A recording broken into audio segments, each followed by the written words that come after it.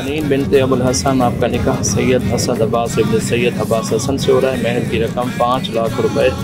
सिक्का रजुल वक्त पाकिस्तान तय हुआ जो कि अंदर तलब है क्या आप मुझे इजाज़त देती हैं मैं आपके निकाह का सिक्का